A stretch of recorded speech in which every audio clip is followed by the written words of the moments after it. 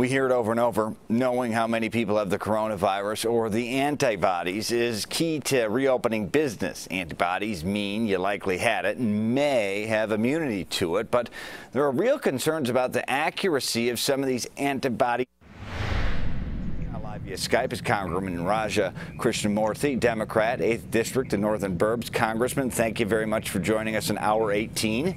You recently you, sent, yeah, absolutely. You recently sent uh, the FDA a letter concerned that many of these testing companies are making fraudulent claims.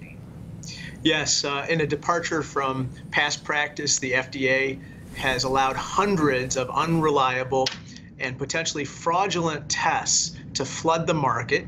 And the problem is many of them have high false positive rates, Brad.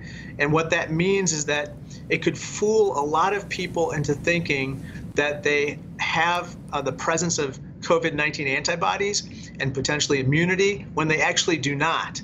And so they could relax their social distancing, go out, get sick, and pass it on to others. So this is a very dangerous um, situation that we have. And so I sent a letter to the FDA uh, yesterday asking them to rescind this policy by next week um, because um, there are too many tests on the market that are uh, perpetrated by scam artists. We got to clear those tests off the market, have only authorized tests be sold, and then the FDA needs to put out precise standards for consumers as to what to do with the test results. How do you interpret them? What can and can't you do in your daily lives based on them?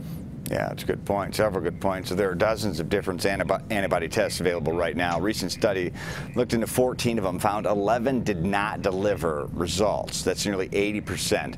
How are these ending up on the market in the first place? It's a great question, and basically the FDA in the past has only allowed um, authorized and validated tests uh, onto the market. Uh, there are currently eight of them, and they are on the FDA's website.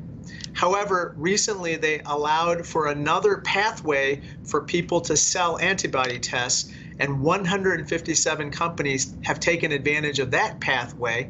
But here's the thing, which is that instead of requiring these companies to produce data that they would then validate, the FDA would validate, instead they are asking for self validation and voluntary compliance.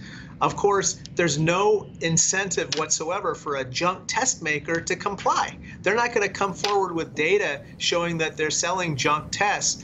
And of course, um, uns unsuspecting consumers uh, know nothing of that.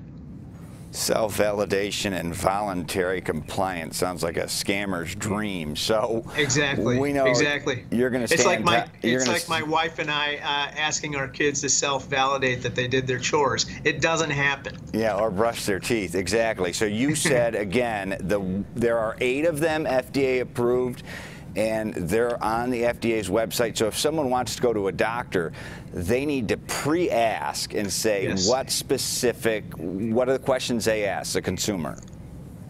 Um, they should first of all go to the FDA's website. There are eight currently FDA authorized tests. They should write them down and ask their physician or their healthcare facility to administer one of those tests. But even then, they need to ask, what do I do with the results of these tests? Because the science is still unsettled, Brad.